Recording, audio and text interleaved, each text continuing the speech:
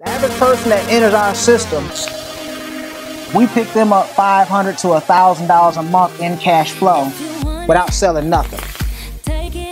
They make more money on strategy than most people make selling stuff in any other company. Let them know that they can make a change in their life. What if you had not paid taxes for the last 30 years and you then took that money and invested it, Mr. Marshall, into your investment portfolio? Call it income shifting. You'd have shifted it from the taxes to your own portfolio. Now, what would your portfolio look like today? They don't have an answer for middle America. And these are the people that make all the financial rules in the, in the financial world. But here comes myEcon.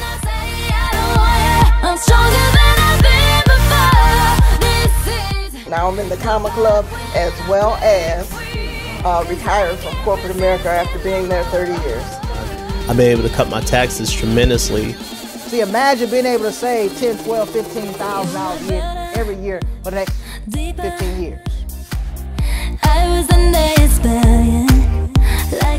What point in your life can you look down the road and say, I don't need any income?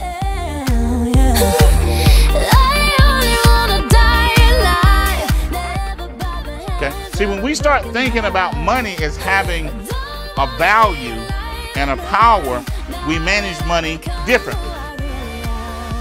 See, when we start understanding compound interest and investing, look at the people that are wealthy. On August 1st, I was upside down. On September 1st, I was uh, cash flow positive. I have more in my checking account than I have debts. Now we're going to start investing. We're going to work the money instead of us being worked. That's the key to being wealthy in America. That's capitalism.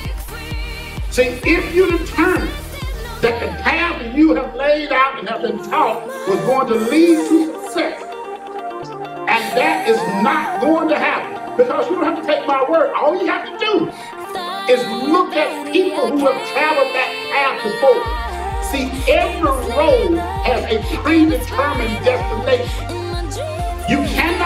The road and where it goes, but you can change what road you are on.